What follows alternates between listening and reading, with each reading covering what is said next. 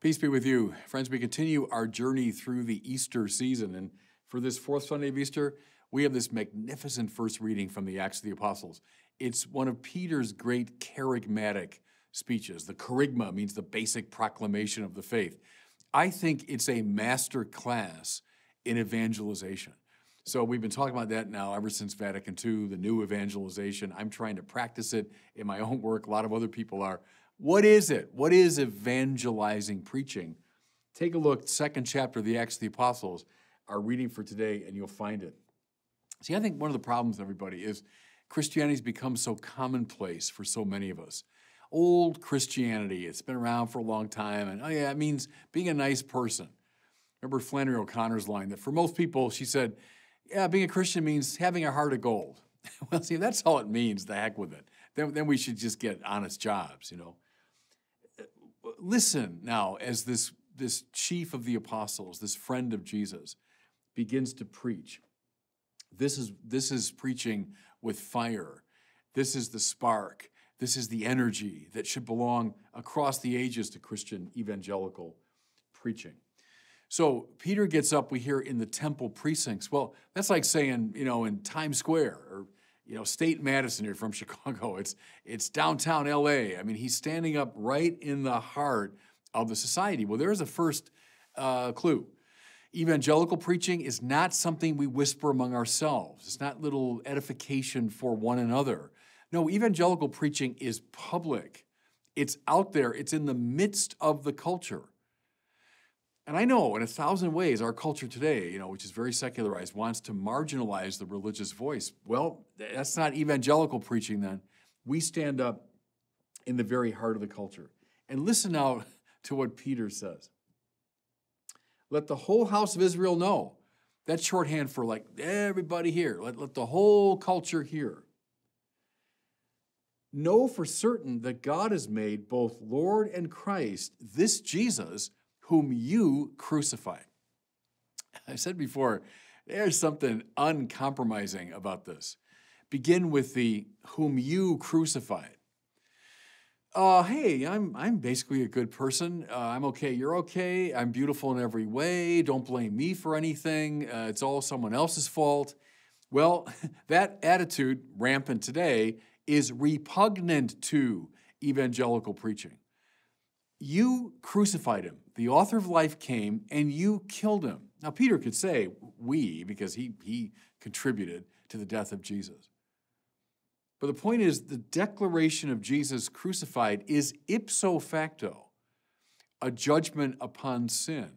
Don't think for a second that evangelical preaching just avoids the question of sin. Uh-uh. Au contraire, right? If you say, hey, I, I want to be uh, friendly and nice and have people listen to me, so I'm not going to mention their sin, whatever that is, it ain't evangelical preaching. Because Peter is right up front about the cross and what it means. It is judgment upon our sin. I think I said it last week, you know, that, that if the Lord came back again in the flesh, we'd kill him too. Because his presence is always a judgment upon us. But then now look at the, at the positive side here. Let the whole house of Israel know that God has made both Lord and Christ, this Jesus whom you crucified. Lord, well, in the Greek of the New Testament, it's kurios, but behind that, undoubtedly, on the lips of Peter, would have been something like Adonai, the Lord. That's a term used for God. They, they wouldn't have called him by his sacred name, you know, the tetragrammaton. We say Yahweh, we, we, sort of our own little invention. They wouldn't have said the divine name. It was too holy to, to pronounce. What they would have said, therefore, is Lord. Extraordinary claim now at the heart of evangelical preaching that Jesus is not one little teacher among many. Boy, here's this guy that we all found really inspiring. Well, bore me to death with that. There's a thousand people that we find inspiring. What Peter is saying, no, no, no, he's the Lord. He's Adonai. He's, he's the divine presence. He's named him Lord and Christ. So in the Greek, Christos, in, in Peter's Hebrew, he would have said Mashiach. So Messiah is derived from that, but Mashiach in the Hebrew, the anointed one. That means David for them. Remember, the prophet Samuel anoints David, and then we hear the Spirit of the Lord rushed upon him. He's the Mashiach in the full sense in the Old Testament. But then they began to look for a new David who would go even beyond the great David of the Old Testament, would become the anointed king who would gather the tribes of Israel and through that gathering would bring in all the tribes of the world. That's what's happened now through the resurrection of Jesus. He's Lord, yes, indeed. He's God among us, and He's David. He's Mashiach. He's the anointed one.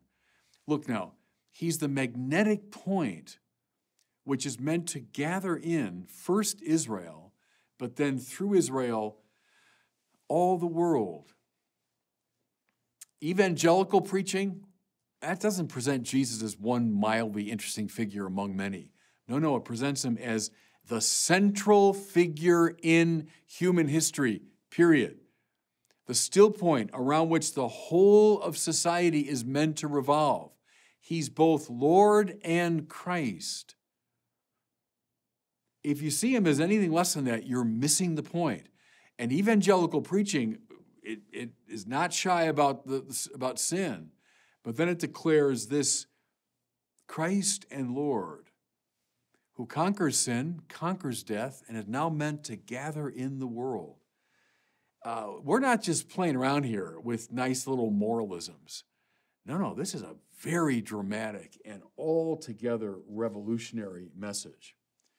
And then I love this. I love this phrase, and I think anyone doing evangelization should be mindful of it. It says, having heard all this, the people were cut to the heart. Cut to the heart. These words pierced all the way down to the very center of their being. I think everyone, you know the difference between rhetoric that doesn't do this and rhetoric that does it. I remember years ago, there was a wonderful um, homiletics professor I had, and he said, most homiletic uh, language is what he called moralizing catechesis. That's to say, it's kind of teaching us how to be good people. Now, look, I'm all in favor of being good people. And, and if a little moralizing catechesis helps you with that, I'm all in favor of it. But see, moralizing catechesis, even at its best, does not cut to the heart. It might be something that, you know, kind of beguiles the mind, and oh, yeah, that's interesting, or hmm, yeah, that might be a helpful application in my life. Well, great, but that's not going to cut to the heart. What cuts to the heart is this announcement that Jesus, whom you crucified, God raised from the dead and has made both Lord and Christ. He's the center of your life. Everything about you, your mind, your will, your senses, your body, your private life, your public life, all of it belongs to Him. He's the Lord of your life. Well, I'll tell you, that message cuts to the heart. Now, you might say, hey, I, I don't want that. But trust me, those words have cut to the heart. That's a sign of evangelical preaching and not the sort of watered down, wimpy gospel that we often get, yes, even from a lot of Christian pulpits. Now, take one more step as we're doing this evangelical preaching. Being cut to the heart naturally prompts a question. So the people ask, once they've heard this, what, what are we to do? now, mind you, Christianity is never simply a question of getting our minds clarified, as important as that is. I mean, that's going beyond the mind you have. That's the fundamental meaning of metanoia in Greek, or conversion getting the doctrine straight, knowing who Jesus is. Absolutely, you bet. But having come to that knowledge, having been cut to the heart, we naturally ask, okay, all right, well, then what are we to do? Listen to the answer that St. Peter gives. Here's how evangelical preachers sound He says, Repent and be baptized, every one of you, in the name of Jesus Christ for the forgiveness of your sins. Repent. Well, that's the first word out of the mouth of Jesus in the Gospel of Mark when he emerges from the hills of Galilee as a preacher. The first thing he says is, Repent. I just wrote something recently about this because there's so much talk today about, you know, being welcoming. And look, in principle, I'm all in favor of being welcoming. But the first word out of the mouth of Jesus is not welcome, it's repent. And so here, the first word out of the mouth of St. Peter when they say, hey, what, what should we do if Jesus is Lord and Christ? Repent. Change your life. And just what I said a few minutes ago, it means give the whole of your life to Him, not part of it. Not, not you know, I guess my, my private life, I'll, I'll let Him have that, or I'll let Him have an hour, you know, once a week. No, no, no. Repent. Turn around. Your whole life belongs to Him. And be baptized for the forgiveness of your sins. Eh, it's so basic, everybody. Now, I, I imagine most people listening to me are probably already baptized, but if you're not, that's essential to it because baptism is the means by which we are grafted onto Christ. We become members of his mystical body. Change your life and get baptized. That's the key once you've heard the word. Now, what happens from baptism? Well, Peter says, you'll receive the gift of the Holy Spirit. Uh, as I record these words, I'm in the middle of, of confirmation season. So I'm doing a lot of confirmations around my diocese. And confirmation doesn't give the gifts of the Holy Spirit because they've already been given in baptism. It confirms them. Confirmare means to strengthen, it stirs them up again and, and confirms them. When were they first given? In baptism. That's when the Holy Spirit comes surging into our lives, bringing his gift. He never comes empty handed, bringing his gifts of wisdom, knowledge, understanding, counsel, fortitude, piety, fear of the Lord, all the gifts of the Holy Spirit. That's the most important thing, everybody, in your life is how will you cooperate with the Holy Spirit? How will you cooperate with these gifts? How will you use them now for the building up of the kingdom of God. You know, if people who've gone through real repentance, people who've really been evangelized know my life is not about worldly success. If I get worldly success, fine, then, then Lord, tell me what to do with it. It's not about fame, it's not about power. If I get those things, fine. It's Lord, what do I do with them?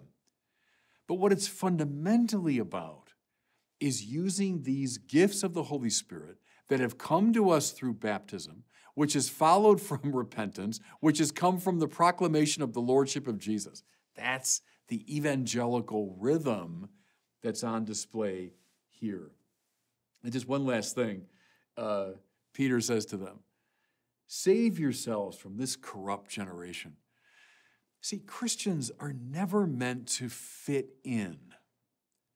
Jesus said, You're the salt of the earth, you're the light of the world, you're meant to be different every generation from the first century to today falls short of what God wants. We Christians, we baptize, we evangelized people, we who belong to the Lord Jesus, we're meant to look and sound and act differently than the world, to stand apart from the corrupt generation. This is, this is disturbing stuff, everybody, but in study after study, survey after survey, Catholics do not profile any different against the general trends of the culture. Issue after issue, Catholics pretty much are right in line with the culture. That's a problem. That means that we've not saved ourselves from the corrupt generation. It means we've not been evangelized. It means we've not accepted the Lordship of Jesus. So I guess here's what I'd say to you pick up your Bibles, open them to chapter 2 of Acts, read this speech of Peter and let yourselves be cut to the heart by it. And God bless you.